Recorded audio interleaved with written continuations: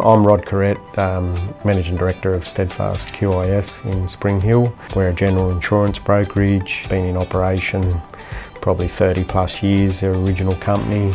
We mainly specialise in small to medium enterprise. We've got two machines from Global Document Solutions and we obviously uh, use them a fair bit for scanning, scanning the client files and obviously we still do a fair bit of printing and we've always found Cyrus to cut us a good deal and look after us and obviously we update the machines you know every four to five years when they're getting towards the end of their useful life and he always comes up with a, a good solution for us.